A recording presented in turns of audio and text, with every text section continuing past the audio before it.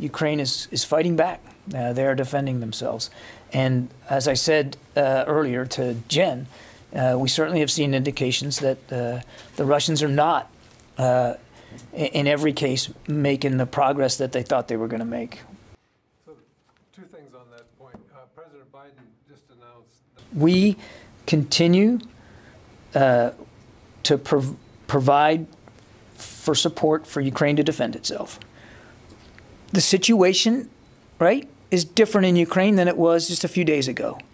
So it would follow, I would think, that we're going, you know, that uh, that we're we're going to have to look for other ways to do this.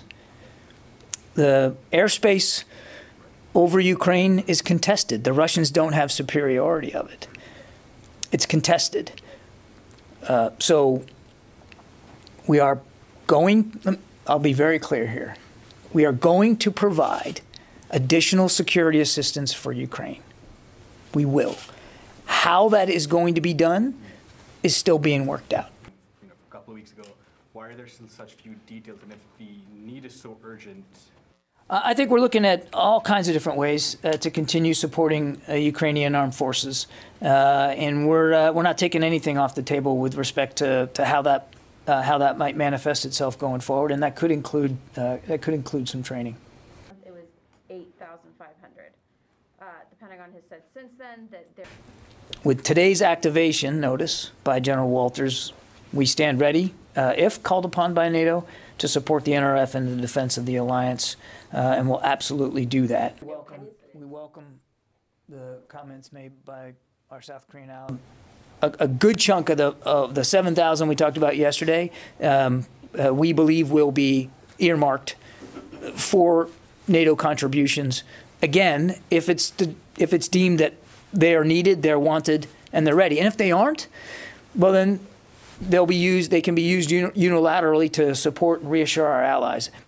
uh, Finland came forward uh, raising the the prospect of reorienting Of the 7,000 that the president ordered yesterday, uh, some of those uh, will will probably be earmarked for the NATO response force when we finally hash out the requirements with the alliance and what that looks like. And it was the secretary's desire uh, to get them moving, get them ready, and get them moving, and get them uh, uh, as prepositioned as possible, so that when we have all the requirements in place, when actual deployment orders are given for the NATO response force by the by the alliance, uh, they'll be more ready to do that. Is the Defense Department doing anything to prevent Kiev from falling? And So there's still some homework to be done, still some math that needs to be worked out. Uh, but again, the secretary wanted to make sure, and the president obviously wants to make sure that we're leaning as far forward as we can. European intelligence officials say that actually half of Russia's combat power that had amassed Uh, one of the reasons we're doing this uh, is because we want to make it clear to him that we will defend every inch of NATO territory. Is that 7,000 of, a as a separate silo from the 12,000 that are there that were